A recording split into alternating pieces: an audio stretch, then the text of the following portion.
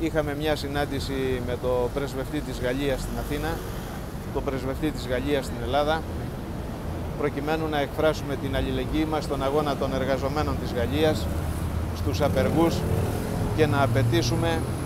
να ικανοποιηθούν τα αιτήματα των ε, απεργών και των εργαζομένων της Γαλλίας.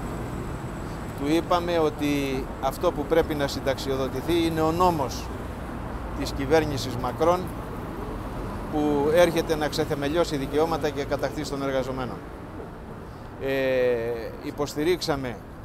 εκ μέρους της Παγκόσμιας Συνδικαλιστικής Ομοσπονδίας και του ΠΑΜΕ, του Πανεργατικού Αγωνιστικού Μετόπου, το δικαίωμα των εργαζομένων και των συνδικάτων της ΕΖΕΤΕ και όλων των αγωνιστικών συνδικάτων που πρωτοπορούν στην πρώτη γραμμή της πάλης υπερασπίζοντας τα δικαιώματα των εργαζομένων της Γαλλίας αλλά δίνοντας και ένα θετικό παράδειγμα για ολόκληρη την Ευρώπη. Ο κύριος Πρέσβης βέβαια αρέσκεται και θεωρεί υπεύθυνη τη στάση της ΣΕΦΔΤ. Από την πλευρά μας υποστηρίξαμε ότι τα αγωνιστικά συνδικάτα, η ΣΕΖΕΤ και τα συνδικάτα της ΨΟ,